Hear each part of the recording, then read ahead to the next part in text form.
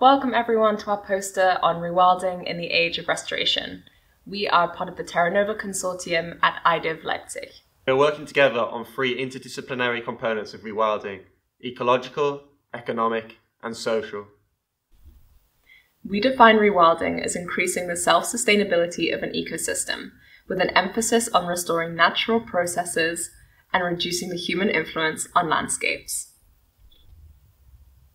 In order to be able to measure rewilding progress, we devised a scalable set of indicators using a bidimensional framework comprising human forcing and ecological integrity.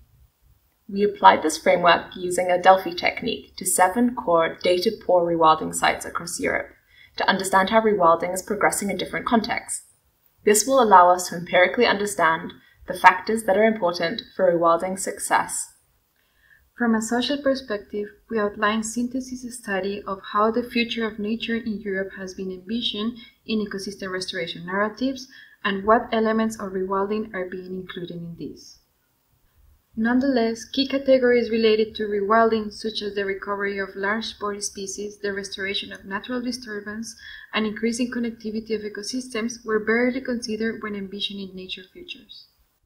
Moreover, understanding the economic potential of rewilding can help to implement sustainable funding structures that increase the chances a given project will persist over time. We examined conservation funding mechanisms and how they can be applied to rewilding focusing on private actors and novel market-based solutions. We highlight the potential of impact investment to help nascent, market-based rewilding projects get off the ground. Rewilding has been increasingly highlighted as having the potential to upscale restoration to meet sustainability goals. As we look in the future, we aim to further build upon this interdisciplinary approach to help define rewilding strategies across scales.